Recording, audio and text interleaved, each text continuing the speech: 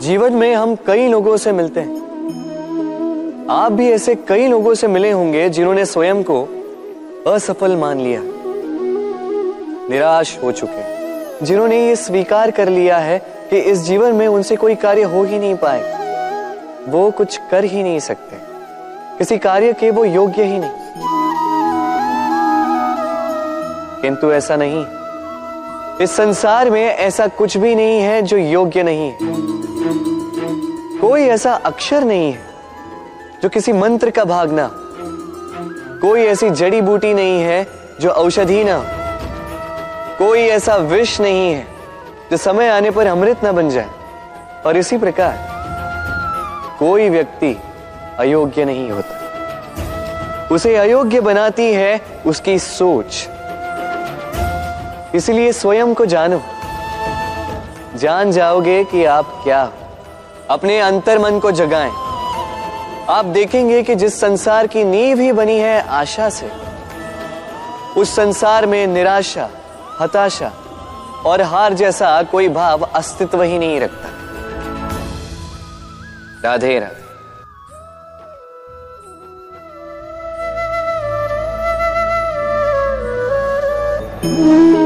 हम सबको कभी न कभी तो क्रोध आता ही और आएगा भी। मनुष्य, इन्हीं भावों से हम जुड़े किंतु ये क्रोध क्यों आता है? कभी सोचा है आप। ये क्रोध तब आता है जब हमारे मन के अनुसार कुछ ना जैसे कभी कोई हमारी बात ना मान, या कभी हमें पराजय प्राप्त हो जाए। किंतु इन सारी परिस्थितियों में आधार एक ही है कि कहीं ना कहीं, किसी न किसी स्थान पे हम दुर्बल क्रोध जन्म लेता है हमारी दुर्बलता से, और फिर वो हमारी सबसे बड़ी दुर्बलता बन जाता है। यदि क्रोध को वश में ना रखा जाए तो भ्रम जन्म लेता यदि भ्रम को वश में न रखा जाए तो विवेक व्याग्र होने लगता है। और यदि व्याग्रता को वश में न किया जाए तो व्यक्ति का तर्क ही नष्ट हो जाता है। सोचने समझने की शक्ति शून्य हो जाती है और फिर उस व्यक्ति का पतन हो जाता है। इसलिए अपने क्रोध पर वश रखें और अपने मन को शांत होने के लिए करें राधे राधे।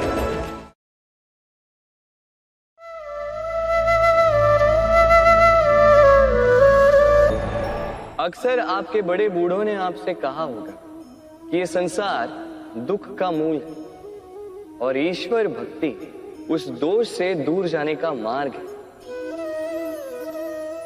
किंतु सोचिए, यदि ये संसार दुख का सागर होता तो क्या नियति आपको यहाँ पर जन्म लेने देती क्या ईश्वर यहाँ पर अवतार लेते जब समस्याओं पर हमारा वश नहीं चलता हम आरोप लगाते हैं इस संसार पर यहाँ के लोगों सोचते हैं कि काश मैं यहाँ पे आया ही ना एक किसान बंजर धरती पर जाता है और अपने परिश्रम से उसे लहलहाते खेत में परिवर्तित करता है। एक दर्जी जिसके पास एक सामान्य सा वस्त्र आता है, अपने परिश्रम से उसे एक सुंदर वेश में परिवर्तित कर देता है। आप भी परिश्रम कीजिए। ये महत्वपूर्ण नहीं है कि आप किस संसार में आए। ये महत्वपूर्ण नहीं है कि आप यहाँ कैसे आए। यदि कुछ महत्वपूर्ण है तो वो ये है कि जब आप गए, तब आप इस संसार को कैसा छोड़कर गए। तो ये सोचकर जिए कि जो किसी के लिए नरक है, उसे किसी का स्वर्ग बना के निकलोगे तो आपका जीवन और आपका संसार दोनों धन्य हो जाएँगे राधे राधे।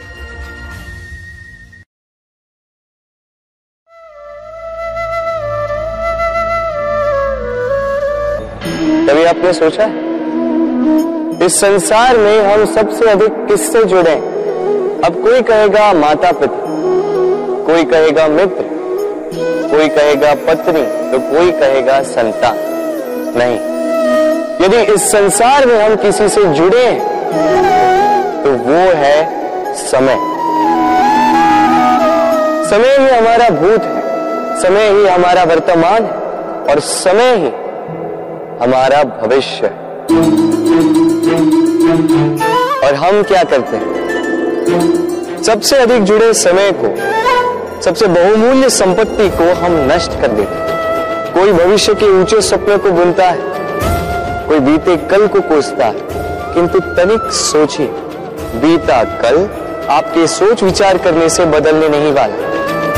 और भविष्य के विषय में सोच विचार करके यदि आप अपना वर्तमान नष्ट कर देते हैं तो आपका भविष्य भी बीते कल की भांति ही होगा। इसलिए आज के विषय में सोचिए, उसे उत्तम बनाए। आपका भूतकाल और आपका भविष्य अपने आप उत्तम हो जाए। राधे। मनुष्य का स्वभाव है कमाना, संग्रह कर फिर चाहे वो धन हो, नाते हो, संबंध हो, या हो प्रसन्नता। परंतु क्या आपने कभी सोचा है? नियति ने यह संग्रह करने की प्रकृति मनुष्य में क्यों डाली? एक बीज से पौधा पनपता है। उसके भोजन से फल संग्रहित होता है। क्यों? इसलिए ताकि वृक्ष उसे स्वयं खा सके। नहीं, बल्कि इसलिए ताकि वो भूखे जीवों में बांट सके। अब आप पूछेंगे कि इसमें वृक्ष का क्या लाभ? लाभ है। क्योंकि जो बांटता है वो मिटता नहीं। जो फल ये जीव खाते हैं, वो उसके बीजों को वातावरण में बिखेर देते हैं, जिससे जन्म लेते हैं नए वृक्ष। उसकी जाति, उसका गुण, उसकी मिठास अमर हो जाती इसलिए स्मरण रखिएगा, अमीर होने के लिए एक एक क्षण संग्रह करना पड़ता है। किंतु अमर बनने के लिए एक एक कण बांटना पड़ता है। राधे।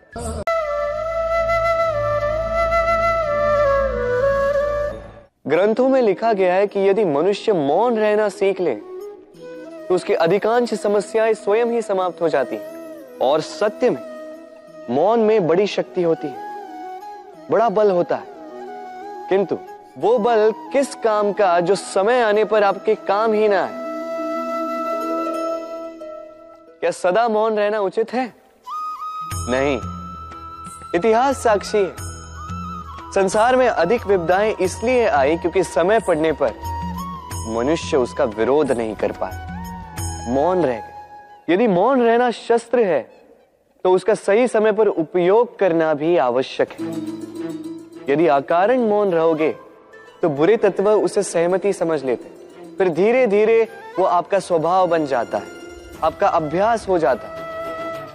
और फिर आपका व्यक्तित्व एक साधारण से पाषाण के भांति बन जाता है।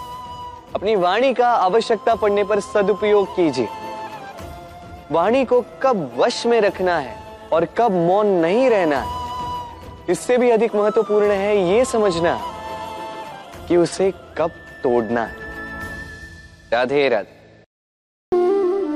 किसी भी वस्तु को बाँध सकने के लिए किसी बंधन का, किसी रस्सी का होना आवश्यक। है परंतु इस रस्सी को बाँध सकने की शक्ति कौन देता है?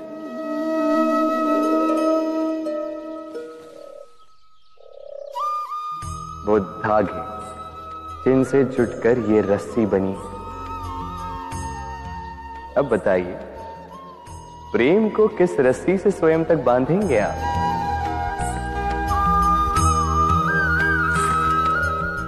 प्रेम बनता है विश्वास से, और विश्वास की डोरी के धागे सत्य के धागों से बुने जाते हैं। अब प्रश्न ये उठता है कि सत्य क्या है? वो जो हमने देखा वो जो हमने सोचा? नहीं। हमारा सत्य वो है जिस पर हमने विश्वास कर लिया। और विश्वास वो जिसे हमने सत्य समझ लिया। वास्तविकता में सत्य और विश्वास दोनों एक ही सिक्के के दो छोर हैं, जहाँ सत्य नहीं वहाँ विश्वास की नींव नहीं। और जहाँ विश्वास नहीं, वहाँ सत्य अपना धरातल खो देता है। तो यदि किसी का सत्य जानना है तो विश्वास कीजिए।